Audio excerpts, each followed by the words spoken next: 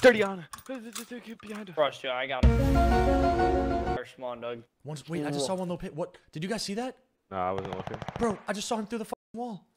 No bullshit. I just saw a guy through the fucking wall, bro. No reach out from Jalen, huh? That was him. I just saw that guy through the wall. Yo, Doug, you're going to hell that guy. Yo! Are we